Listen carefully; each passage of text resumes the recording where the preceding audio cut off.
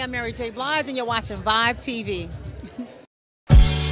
Waking up in a dream, sleepwalking on another big stage. You never heard peace till you hear people scream your name and you're the unison. I'm so far away from the place I used to be, struggling usually. Mary's a legend. She's an OG in the game. She's somebody who told her story, kept it authentic, kept it real, and she has so many good songs. Her and Meth was one of my favorites, even though I was kind of young when that came around. That was just kind of like a staple in music and hip hop, and you know what I'm saying. So. Feel so good in what you do. Help somebody else get through. That's why I do the best I can because I know how blessed I am. So Mary is uh, one of the names that go with Ella Fitzgerald, Billie Holiday, Aretha Franklin, to Whitney Houston, to a Barbra Streisand, to a Judy Garland.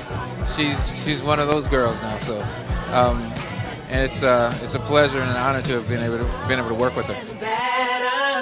A fool if I take it off for granted. A smart man if I keep my feet planted to the earth. Cause the people that hurt can understand it. You to honor her, to me, is important. I feel like we need to honor each other more while we're here, while we're alive, while we're in our prime. And she's, you know, she's in our, her prime and um, she's our queen. She's our, our generation.